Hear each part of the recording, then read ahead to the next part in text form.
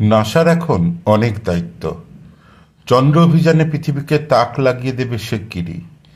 নাসার চন্দ্র অভিযান আর্টিমিস মিশনের জন্য বিশাল উদ্যোগ আয়োজন চলছে। এই মিশনের পাঁচটি ভাগ রয়েছে। যার মধ্যে মানুষ নিয়ে চাঁদে ল্যান্ড করার পরিকল্পনাও আছে। আর্টিমিস তিন মিশনে একজন মহিলা ও একজন পুরুষ দুজন নভশ্চর নিয়ে চাঁদে যাবে নাসার রকেট। চাঁদে কি পরে যাবেন নভশ্চররা? প্রথমবার তার ছবি সামনে আনল নাসা। নাসার অধীনস্থ আন্তর্জাতিক স্পেস স্টেশন, একশো এম এ নভশ্চররা এখন স্পেস স্যুট পরে অভ্যাস করছেন। হালকা, আরামদায়ক স্পেস স্যুট তৈরি হয়েছে। আর্টিমিসের জন্য স্পেস স্যুট জুতো ইত্যাদি পরিয়ে নভশ্চরদের প্রশিক্ষণ দেয়া হচ্ছে।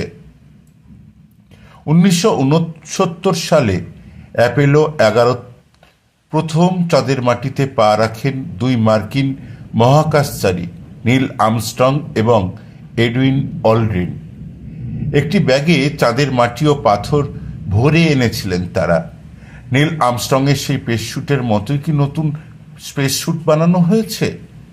নাসা এখনও সে বিষয়ে বিস্তারিত কিছু জানায়নি মহাকাশে ব্যবহারের জন্য বিশেষ ধরনের ঘড়িও লাগে। ওমেগার স্পিডমাস্টার প্রফেশনাল হাতঘড়ি বেশ পছন্দ নাসার। স্পেস শাটল মিশনের সময় ব্যবহার করা হয় এমন ধরনের হাতঘড়ি। নাসার পরবর্তী চন্দ্র অভিযান নিয়ে প্রস্তুতি তুঙ্গে। চাঁদের কক্ষপথে প্রথম লুনার স্পেস স্টেশন বানাচ্ছে নাসা। এই প্রকল্পের নাম গেটওয়ে টু মুন বা আর্টেমিস পৃথিবীর জোরালো অভিকর্ষণ বলের মায়া কাটিয়ে মহাকাশযানকে চাঁদে পাঠানোর ঝক্কি অনেক। কাজেই লুনার স্পেস স্টেশন হলে সেখানে বসেই গবেষণা চালানো যাবে। আবার মহাকাশযান বানিয়ে যখন তখন পাঠিয়ে দেয়া যাবে মহাকাশে। চাঁদে যখন তখন বাড়ি দেওয়ার জন্য স্পেস লঞ্চ সিস্টেম রকেট বানিয়েছে নাসা।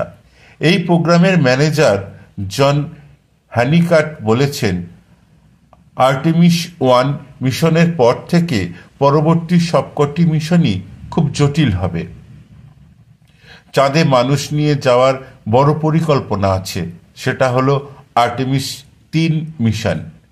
লুনার স্টেশনের কাজও শেষ করতে হবে, তাই এমন রকেট দরকার ছিল যা উন্নত প্রযুক্তির ও শক্তিশালী হবে। সেজন্যই এস এল এস রকেট তৈরি করা হয়েছে। এর আরএস পঁচিশ ইঞ্জিন প্রচুর পরিমাণে শক্তি তৈরি করবে।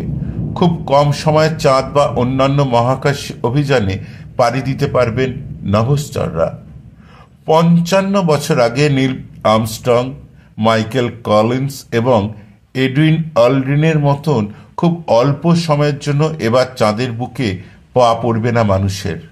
হয়তো টানা এক সপ্তাহের জন্য চাঁদের বুকে গবেষণা চালাবেন নভশ্চররা আর্টিমিসের এমন অনেক পরিকল্পনাই আছে। সেই জন্য স্পেস লঞ্চ সিস্টেম ও মহাকাশযান অরিয়ন তৈরি হয়েছে। মহাকাশচারীদের জন্য লাইফ সাপোর্ট সিস্টেম ঠিকঠাকভাবে কাজ করছে কিনা তা খুঁটিয়ে পরীক্ষা করে আসবে স্পেস রকেট